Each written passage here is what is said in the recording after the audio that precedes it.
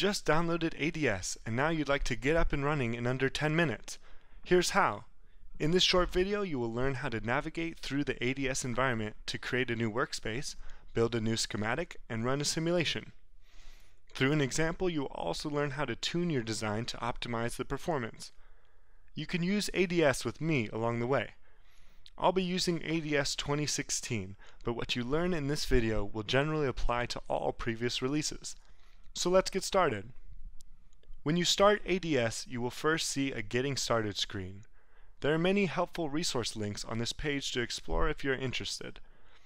Let's close it for now and go ahead and create a brand new workspace. A workspace is how ADS organizes your design. Click on the new workspace icon and follow the on-screen prompts. Let's give this workspace a name and set up a few more parameters. This is the point that you will decide are you going to work on an analog RF domain, DSP domain, or will you be doing something that requires library parts from external sources? If you are doing IC design, you may need foundry parts from foundries, and if you are doing board design, you may need components such as capacitors and inductors from component vendors. We're just getting started, so I will accept the defaults. This is an important choice if you're doing a layout design, but for now, we're just going to keep the default choice and click Next. Great! Now the workspace is all set up and you have a blank ADS workspace open. Let's start building our circuit. You typically build in schematics, so here's how to create a schematic window. It can be helpful to use the wizard, but let's ignore that for now. Here's the schematic window in the middle and library palette on the left. From the palette, you can place components on your schematic.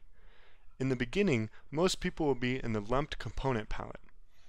You can place resistors or other components on your schematic by using a left click.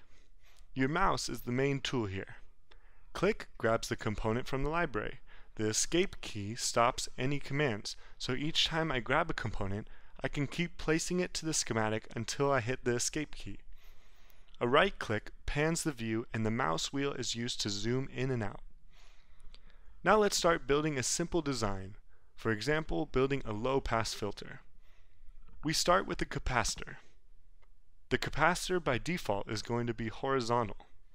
Press Ctrl R or use this icon here to rotate the component. Let's put an inductor in the middle. And then wire the rest of the circuit. To do so, click the wire icon from the main toolbar menu.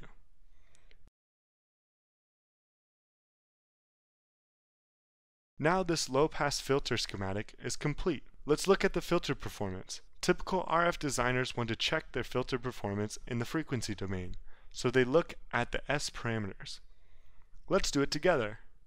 To do so, I need to run an S parameter simulation. In order to run this simulation in ADS, you always need to have the simulation controller somewhere unconnected on the schematic. Note that for this example, the simulator will control the frequency. You can find the simulation parameter controller from the S parameter library palette. If I connect it up this way and run an S parameter simulation, num1 is going to be port 1, which is the excitation point, and num2 is set for port 2 which is the measurement point. Great! The setup is complete for the S parameter simulation. I left everything at default, but you can change it if you want. Right now the capacitor and inductor values are 1 picofarad and 1 nanohenry. The frequencies that I am simulating are from 1 GHz to 10 GHz in steps of 1 GHz. These steps are too wide, so I'm going to change the step size to 10 MHz. Notice that I can also double click the components on the schematics and make changes in the dialog box. You may notice that there are multiple ways of achieving the same task inside ADS. Here we are. We have a simple design and S parameter controller. To run a simulation, this gear symbol should be your go-to button. There's a gear here, and there's a gear on the simulation control that we place on the schematic, and that's how they connect to each other. Click Simulate. By default, ADS opens up the status window, then a data display window. Right now there are no problems, so the simulation completed in less than a second and a blank data display window opens. To plot data, I can look at the S11 in the Smith chart. This is my Smith chart icon. Click here. From the pop-up menu, select S11, click Add, click OK. That is S11 on the Smith chart. An ADS Smith chart is a great visual representation of the data. Now let's look at the filter performance, which is typically S21 on a rectangular plot. Click the rectangular plot icon. From this menu select S21, click Add and it will say S21 is a complex number. How do you want to plot it? As you know, complex numbers cannot be plotted on the rectangular plot unless you do some work beforehand. ADS can do this for you. Select to convert complex values to decibel and go ahead and plot the dB of S21. As you can see, lower frequencies between 1 GHz and 7 GHz are passing through the filter and higher frequencies are attenuated, and that looks like what we expected, a typical LPF filter performance.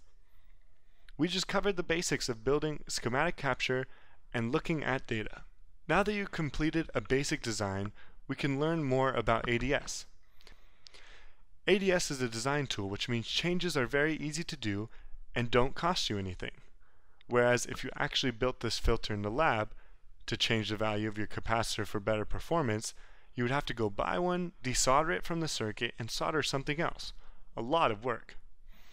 In a simulation environment, this can be done by a quick edit and simple click to rerun the simulation and view the new results. You don't even have to keep resimulating after each change. You can use an ADS feature called tuning. This is the tuning fork icon. If you click the tuning fork icon, you have several options on what you can tune and see how it affects the results.